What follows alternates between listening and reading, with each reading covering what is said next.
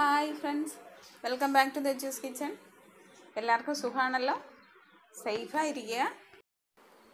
ഞാനിന്ന് കറി ലീവ്സ് കൊണ്ട് ചോറിന് ഒരു അടിപൊളി കറി ഉണ്ടാക്കുന്ന വീഡിയോ ആണ് കാണിക്കുന്നത് അത് വളരെ ഈസിയാണ്. വീട്ടിൽ തന്നെയുള്ള ഇൻഗ്രീഡിയൻസ് തന്നെ കൊണ്ടുണ്ടാക്കാം.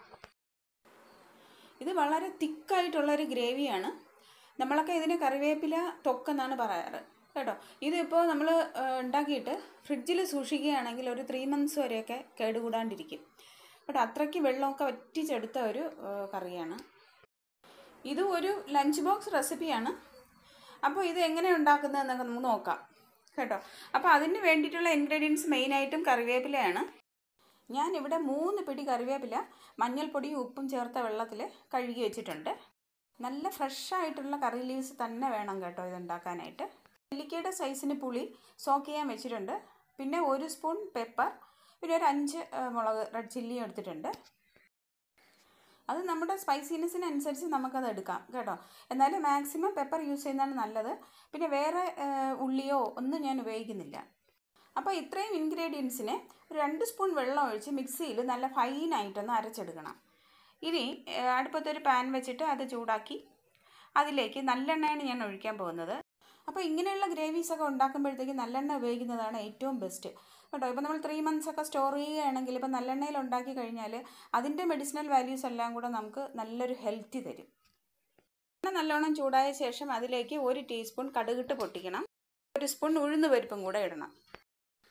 പിന്നെ രണ്ട് മൂന്ന് ഉണക്കമുളകും കൂടെ ഇടുക.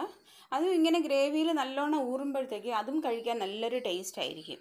അപ്പോൾ ഇതിന് ശേഷം വേണമെങ്കിൽ നമുക്ക് കുറച്ച് ചെറിയ ഉള്ളിയും വെളുത്തുള്ളിയും ഒക്കെ തൊണ്ട് കളഞ്ഞിട്ടിടാം അപ്പോൾ അതൊരു പത്തെണ്ണമൊക്കെ ഇട്ട് കഴിഞ്ഞാൽ നമുക്ക് അതിന്റെ നല്ലൊരു ഫ്ലേവർ കിട്ടും. കേട്ടോ ഞാനിപ്പോൾ അതൊന്നും ഇവിടെ ഇടുന്നില്ല. നമുക്ക് മെയിനായിട്ട് വേണ്ടത് കറി ലീവ്സിന്റെ ഒരു കറിയാണ്. കറി ലീവ്സിന്റെ മെഡിസിനൽ വാല്യൂസ് എല്ലാം എല്ലാവർക്കും അറിയാവുന്നതാണ്. എന്നാലും ഞാനൊരു ഒന്ന് രണ്ട് പോയിന്റെങ്കിലും പറയുന്നത് പോകുന്നത് ശരിയല്ല. ഇപ്പോൾ സ്ട്രെസ് ഇല്ലാത്ത മനുഷ്യരേ ഇല്ല. കേട്ടോ ആ സ്ട്രെസ്സൊക്കെ നമുക്ക് റിലീവ് ചെയ്യും. പിന്നെ ഡയബറ്റിക്സ് ഒക്കെ ഉണ്ടെങ്കിൽ അത് കൺട്രോൾ ചെയ്യും. പിന്നെ നമ്മുടെ കണ്ണിന്റെ കാഴ്ചശക്തിയൊക്കെ ഉണ്ടല്ലോ അതൊക്കെ കൂട്ടും. അതേപോലെ ഇപ്പോൾ കുഞ്ഞു പിള്ളേരും ശരി വലിയവരും ശരി ഒത്തിരി ഫേസ് ചെയ്യുന്ന മറ്റൊരു പ്രോബ്ലമാണ് ഹെയർ ഫോൾ അപ്പോൾ ഡെയിലി നമ്മളൊരു അഞ്ച് കറി ലീവ്സ് എങ്കിലും നമ്മുടെ ശരീരത്തിനകത്ത് പോയി കഴിഞ്ഞാൽ ഈ ഹെയർ ഫോളൊക്കെ കൺട്രോൾ ചെയ്തിട്ട് നമുക്ക് നല്ല ഹെയർ ഗ്രോത്ത് ഉണ്ടാക്കും. ഇതിപ്പോൾ ഏകദേശമൊക്കെ ഒന്ന് മൂത്ത് വന്നിട്ടുണ്ട്.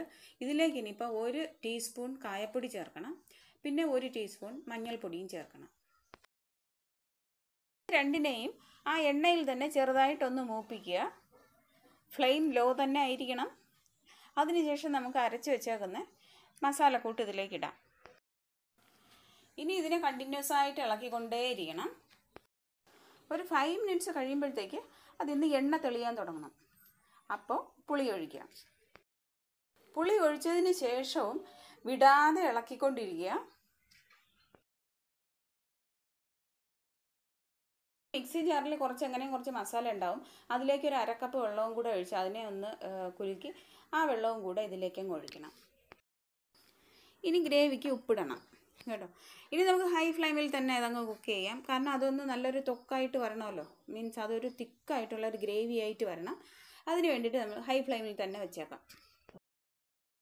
ഇപ്പോൾ ഹൈ ഫ്ലെയിം ആയതുകൊണ്ട് കണ്ടിന്യൂസ് ആയിട്ട് ഇളക്കി കൊടുത്തുകൊണ്ട് തന്നെ ഇരിക്കണം. ബോയിലായി കഴിഞ്ഞാൽ അനദർ ഫൈവ് മിനിറ്റ്സിൽ ആ ഗ്രേവി റെഡി ആയിക്കോളും.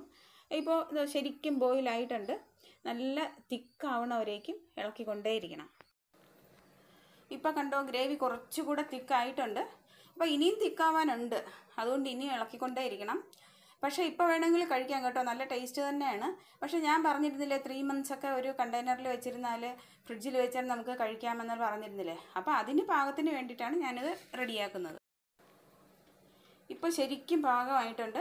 അതിങ്ങനെ പാത്രത്തിൽ നിന്നെല്ലാം വിട്ട് വരുന്നുണ്ട് കേട്ടോ. എണ്ണയെല്ലാം തെളിഞ്ഞ് നല്ല കറക്റ്റ് പാകത്തിന് വന്നിട്ടുണ്ട്.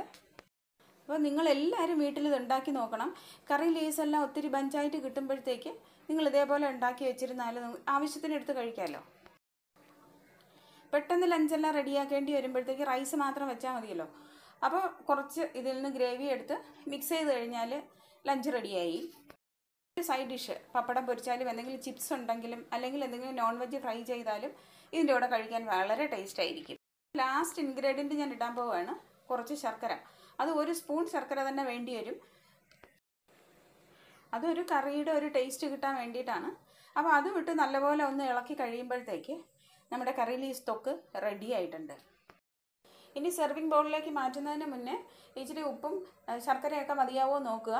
ശർക്കര വേണമെങ്കിൽ കുറച്ചുകൂടെ ആവാം. അത്രയും ടേസ്റ്റ് നല്ലതായിരിക്കും. അപ്പോൾ വീട്ടിൽ ഉണ്ടാക്കി നോക്കണം. ഇഷ്ടമായാൽ ലൈക്ക് ചെയ്യുക ഫ്രണ്ട്സിനും റിലേറ്റീവ്സിനും ഒക്കെ ഷെയർ ചെയ്ത് കൊടുക്കണം. പിന്നെ ഇഷ്ടമായാൽ കമന്റ് ചെയ്യാൻ മടിക്കരുത്. കമന്റ് ബോക്സിൽ ഇടണം. പിന്നെ ഇതുവരെ സബ്സ്ക്രൈബ് ചെയ്യാത്തവർ ഒന്ന് സബ്സ്ക്രൈബ് ചെയ്യുക. അടുത്തുള്ള ബെൽ ബട്ടണും പ്രസ് ചെയ്യണം കേട്ടോ. അതിൽ ആൾ പ്രസ് ചെയ്ത് കഴിഞ്ഞാൽ നിങ്ങൾക്ക് നോട്ടിഫിക്കേഷൻസ് ഒക്കെ കിട്ടുന്നതായിരിക്കും. അപ്പോൾ ഞാൻ സർവിങ് ബൗളിലേക്ക് മാറ്റിയ ശേഷം കുറച്ച് തൊക്ക് അതിൽ തന്നെ വെച്ചേക്കുകയാണ് ഇതിലേക്ക് ഒരു രണ്ട് സ്പൂൺ റൈസ് ഇട്ടൊന്ന് ഇളക്കി മറിച്ച് എടുത്തു കഴിഞ്ഞാൽ എന്താ ഒരു ലഞ്ച് ബോക്സിൽ പാക്ക് ചെയ്ത ഒരു ഫീലിംഗ് ഉണ്ടാവും. അപ്പോൾ ഇങ്ങനത്തെ വെറൈറ്റി റൈസ് എല്ലാം ഉണ്ടാക്കുമ്പോഴത്തേക്ക് റൈസ് അങ്ങ് ഹൺഡ്രഡ് പെർസെന്റേജ് കുക്ക് ആവണ്ട. അങ്ങനെ സ്റ്റിക്കി ആവാണ്ടിരിക്കണം. മനസ്സിലായില്ലേ? അതായത് ഒരു നയന്റി പെർസെന്റേജ് കുക്ക് ആയാൽ മതിയാവും. ഞാനിവിടെ പൊന്നി അരിയാണ് എടുത്തേക്കുന്നത്. ഇപ്പോൾ മട്ട അരിയാണെങ്കിൽ നല്ലപോലെ സൂപ്പറായിട്ട് ഉണ്ടാക്കാം. ഇത് മോർണിംഗ് ഒന്ന് പാക്ക് ചെയ്തിട്ട് ഒരു one o'clock two o'clock ആകുമ്പോഴത്തേക്ക് ഇത് എടുത്തു വെച്ച് കഴിച്ചാലുണ്ടല്ലോ. എന്താ ഒരു ടേസ്റ്റ് എന്നോ? ഒരു പപ്പടമോ അല്ലെങ്കിൽ ഒരു ഓംലെറ്റോ അല്ലെങ്കിൽ എന്തെങ്കിലും ഒരു ഫ്രൈ ഐറ്റംസ് ഒക്കെ കിട്ടിക്കഴിഞ്ഞാൽ കുശാലായി കേട്ടോ ഊണ്. ഇതാ നമ്മുടെ അടിപൊളി രഞ്ച് ബോക്സ് റെസിപ്പി റെഡി ആയിട്ടുണ്ട്. കറി ലീവ്സ് തൊക്ക്. അത് കാണാൻ തന്നെ എന്തോ ഒരു ഭംഗിയാണ് പിന്നെ റൈസ് ഓ ഈ റൈസിന്റെ ടേസ്റ്റ് ഞാൻ പറഞ്ഞറിയിക്കാൻ പറ്റത്തില്ല കേട്ടോ. അത്രയ്ക്ക് ടേസ്റ്റാണ് നിങ്ങളെല്ലാവരും ഉണ്ടാക്കി നോക്കുക. കേട്ടോ. എന്നിട്ട് വാല്യുബിൾ കമന്റ് കമന്റ് ബോക്സിൽ ഇടണം മറക്കരുത്.